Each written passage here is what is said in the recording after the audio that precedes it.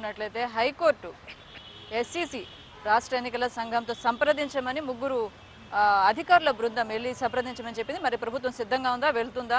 కోర్టుల్ని గౌరవించేటువంటి ప్రభుత్వం ఇది. సుప్రీంకోర్టు శాసనసభ్యురాలు రోజాని అసెంబ్లీలోకి ఎలవ్ చేయమంటే సుప్రీంకోర్టు తీర్పును కూడా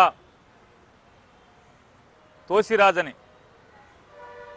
ఆ రోజు తీర్పును అమలు చేయనటువంటి ధిక్కారాన్ని వ్యవహరించినటువంటి మదనెక్కిన మదమెక్కిన ప్రభుత్వం అది. కోర్టుల్ని గౌరవించేటువంటి ప్రభుత్వం జగన్మోహన్ రెడ్డి గారి ప్రభుత్వం. తప్పకుండా కోర్టు ఏది చెప్తే అది మేము ఆచరిస్తాం. ఇంకా అదే విషయాన్ని వెళ్ళి మళ్ళీ మరొకసారి నిమ్మగడ్డ గారి దగ్గర చెప్తారా? ఎన్నికలు నిర్వహించే పరిస్థితి లేదు ప్రస్తుతమని. చెవిటివాడి ముందు శంఖం ఊదినట్టే అని తెలిసినా కోర్టు వారు ఊదమంటున్నారు కాబట్టి మళ్ళీ ఒకసారి వెళ్ళి ఊతాం తుపాను నష్టపరిహారాల్లో బీజేపీ పాలిత రాష్ట్రాల్లో ఏ స్థాయిలో ఇస్తున్నారో ముందు తెలుసుకోవాలని అంటున్నారు పేర్ని నాని.